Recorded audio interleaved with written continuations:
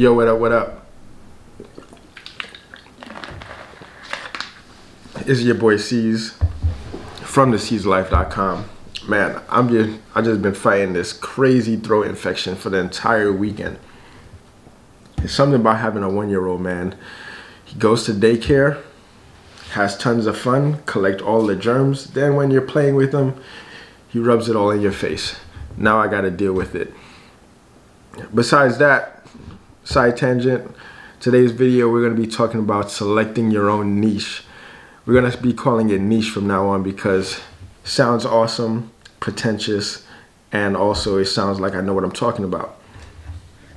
Any who, um, when it comes to selecting your own niche, let's break down what niche is.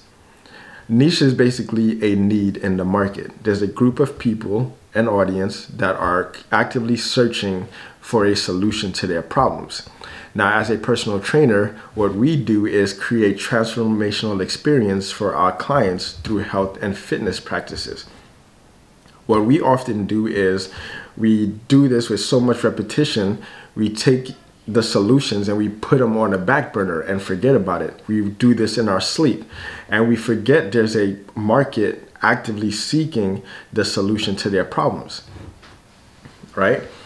Now, instead of us putting it on the shelf, we need to take the solutions that we created for our clients, dust them off, and create content around that solution and present it to the market so that it'll create a transformational experience for themselves. Now, personal trainers or even internet marketers, especially the ones that are struggling to get started, is they're often looking for the niche that's going to get them the most money. And instead of focusing on the audience itself, because if you help somebody solve a problem, they will empty out their pockets for you because sometimes those solutions might be small to you but a big pain point for that individual. Like one of the things that I helped a ton of my clients achieve is losing 20 pounds of fat and also helping them restore their posture.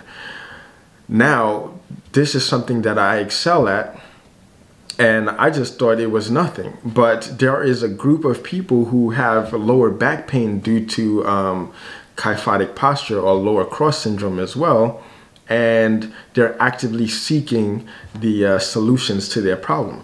So what I'm going to do, or what I'm actively doing, is presenting my content in a way to help them solve that problem, right? And everything overlaps, right? Because posture can directly affect how much weight you're gaining as well.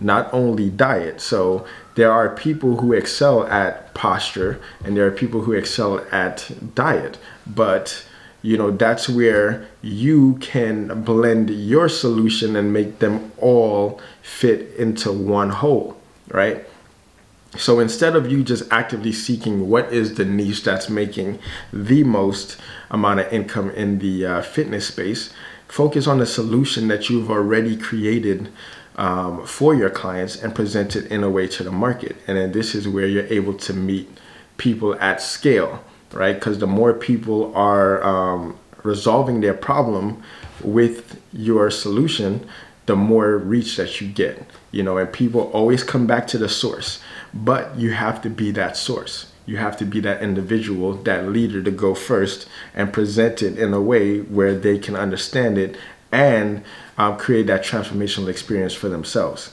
Some people want to go deeper, right, with one-on-one coaching. Some people just consume your your your content. You have to be fine with it either way. All right, do what you love, and you know it. All the results will come easy. I know it's easier said than done, but first step is realizing this taking action on it and see see what happens. Do your own research come to your own conclusion. All i can do is present these facts from the journey and uh, let you take the reins from there. Anyway hopefully that helps. If you have any more questions regarding niche selection niche selection hit me up in the comments. Like this video share this video and subscribe. Peace